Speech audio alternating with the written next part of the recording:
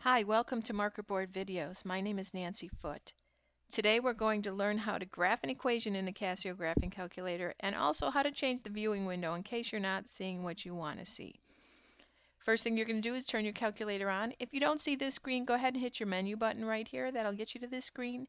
Your calculator may look slightly different from mine. That's okay. Once you know how to work one Casio graphing calculator, you'll know how to work all of them. Since we want a graph, we're going to look for the graph icon. For mine, it's number 5. Yours may be a different number. Highlight that icon and hit execute, and you're in the graphing function. So here's where you put in your function. I'm going to put in the function 2x plus 4. 2x plus 4. Now I need to tell the calculator that I'm done with that function, so I hit execute. And you'll notice the equal sign is highlighted. That means it's an active function, and that's what we want.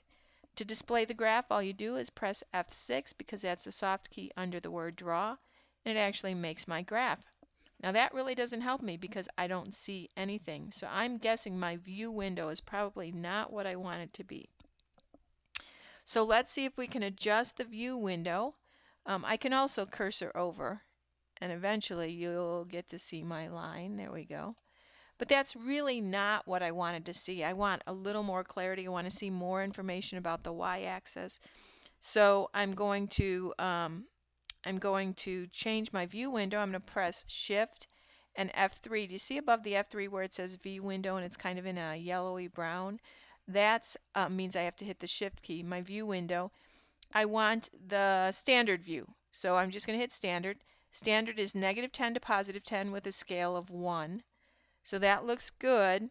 Once I'm done, I'm going to hit execute. And I'm going to draw again. And that looks a lot better. Now let's say I want to see exactly what the x-intercept is. I want to trace it. So I'm going to hit Shift F1 and I can trace it and it will tell me at every point exactly what my values are. And I can't quite get it exactly on x-intercept, but pretty darn close. I'm guessing it's probably about negative 2. Let's say I want to change the view window again. Shift, view window. Only now I want to go from 0 to 5 on the x scale. And on the y scale, I also want to go from 0 to 5. Keep in mind that this is a rectangular it's a rectangular picture. So what you're going to find, even though it looks like it's it should be, let's scoot this over. Even though it looks like it should be square, you you notice how these are actually rectangles? It's because your uh, your graph is wider than it is tall. So if you made a circle, it would look like an oval.